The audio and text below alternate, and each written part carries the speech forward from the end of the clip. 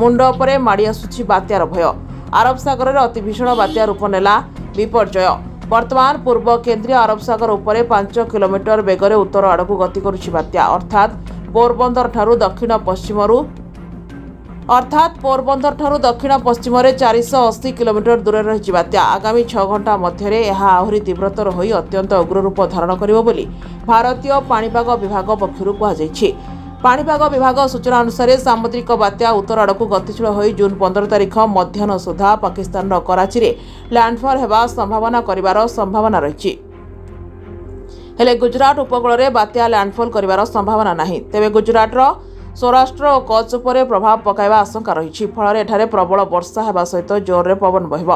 ପୂର୍ବ ମଧ୍ୟ ଆରବ ସାଗରରେ ଘୂର୍ଣ୍ଣିବଳୟ ଜାରି ରଖିଥିବାରୁ କରାଚି ପୋର୍ଟ ଟ୍ରଷ୍ଟ ପକ୍ଷରୁ ରେଡ୍ ଆଲର୍ଟ ଜାରି କରାଯାଇଛି।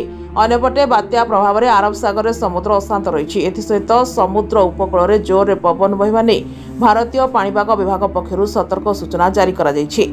ବାତ୍ୟା ଯୋଗୁଁ ପ୍ରବଳ ବର୍ଷା ସମ୍ଭାବନା ଥିବାରୁ କେରଳର ଆଠଟି ଜିଲ୍ଲାରେ ୟେଲୋ ୱାର୍ଣ୍ଣିଂ ଏବଂ ମୁମ୍ବାଇ ରାୟଗଡ଼ ରତ୍ନଗିରି ସମେତ ମହାରାଷ୍ଟ୍ରର ଉପକୂଳବର୍ତ୍ତୀ ଅଞ୍ଚଳରେ ସତର୍କ ସୂଚନା ଜାରି କରାଯାଇଛି।